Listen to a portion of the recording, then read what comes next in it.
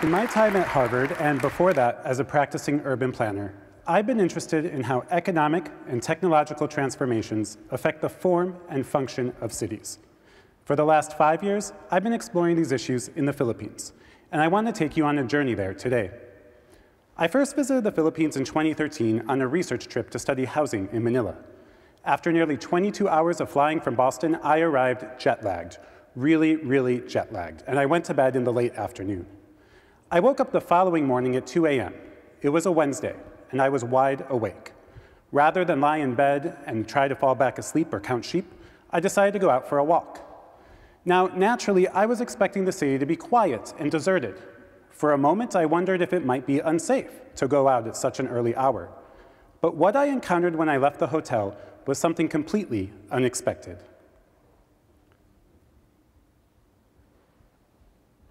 As you can see, the city was bustling at 2 a.m. There were people out talking with their friends and eating at street-side cafes. There weren't just adults, but children too, entire families. There was a market that was open throughout the early morning hours. And at 4 a.m. and 5 a.m., the line at Starbucks and Jollibee and McDonald's was out the door. There was a traffic jam in front of my hotel at 4 a.m.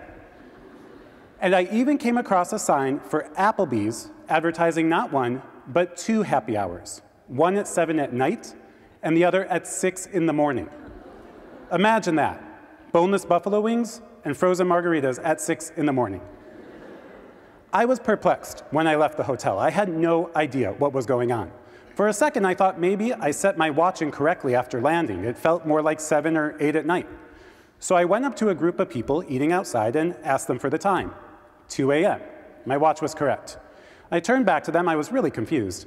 Said, excuse me, but why are so many people eating dinner at 2 a.m.? Is it a holiday? Did a concert get out? What, what's going on?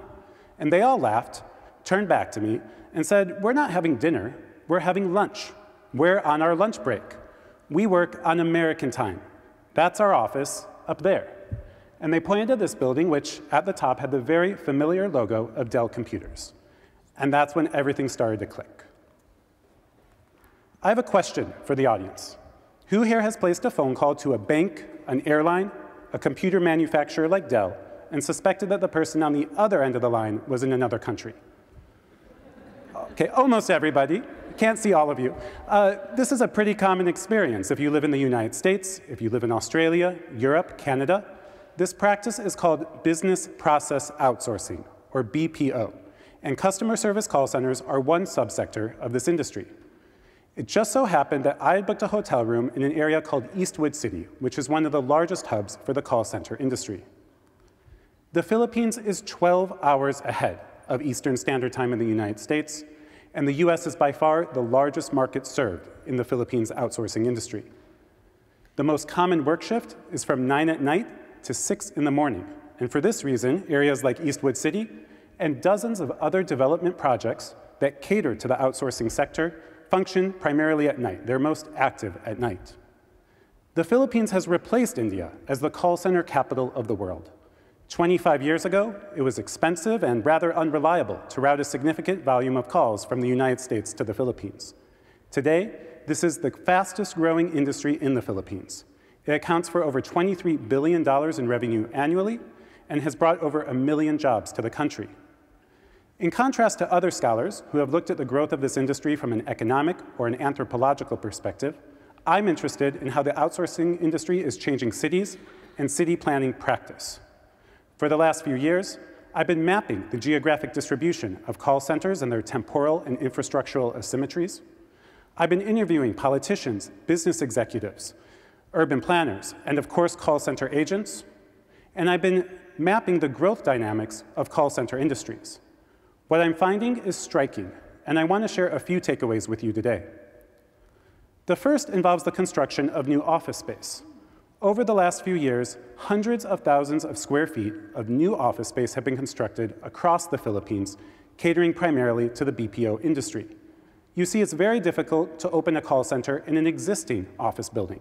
One of the most important requirements is a large floor plate on which hundreds, if not over a thousand employees can be assembled on a single floor. This example of a typical floor plan gives you a sense of the density in the arrangement of employees. In many cases, it would be difficult, if not impossible, to convert this office building to other uses, to traditional office uses. Now, these call centers are typically located in special economic zones known as IT centers, and they receive a variety of tax incentives in doing so. What's interesting about these IT centers is that they tend to be located in central urban areas and adjacent to a variety of other uses. This, for example, is the Venetian Grand Canal project in the city of Taguig in Metro Manila. It includes a large shopping mall and restaurants. There's even a canal through the property where you can ride a gondola. There's a condominium, a hotel, a vocational school, and call centers. Dozens of call centers that anchor the project but are not the only aspect of the project. The growth of the industry is also creating unusual challenges for public transportation. In particular, how do hundreds of thousands of people commute to and from work outside of normal business hours? I've been mapping the changes to formal and informal transportation networks, and I've also been surveying people who work on a night shift. I found that people working in the BPO industry typically spend between three and four hours in traffic every single day. And security is also a concern. In one city I visited, the mayor told me that with 50,000 people working at night in his city in call centers, there's been an increase in crime. The city has responded by installing thousands of streetlights around urban areas, and by changing the shift of the police force, and they're still grappling with this issue and searching for solutions. And although these call centers are typically located in large private corporate estates, their characteristics also seep into the adjacent urban areas. The local barangays. These uh, images are from the barangays of South Cembo and Bagumbayan, where many long-term residents are beginning to change their sleep schedule, business owners are operating more in the evening, and many call center agents and people working in the BPO industry, tired of their long commutes, are looking for housing and bed space. What's happening in the Philippines today is one example of the local implications of global capitalism and global outsourcing. It's also an example of how new technologies, in this case cheap digital communications around the world, have unintended consequences on the form of cities and social practices within cities. In the case of the Philippines, entire urban areas synchronized to a foreign time zone, often to our time zone, in, in the process disrupting the cultural rhythm of the nation. As these maps demonstrate, offices that service particular time zones tend to co-locate near one another. They cluster in particular parts of the city. I refer to this in my writing as the temporal logic of agglomeration. I'd like to conclude, however, on a more speculative note, one about how we design cities today. Nobody knows how long Dell Computers or any other corporation will be routing customer service calls from the United States to the Philippines. However, many analysts suggest that in just the next few years, a significant number of these jobs will be, will be replaced by artificial intelligence and voice-automated technology. This is particularly concerning considering the number of people working in the industry and also considering the extent to which urban environments are being restructured to accommodate this industry's growth.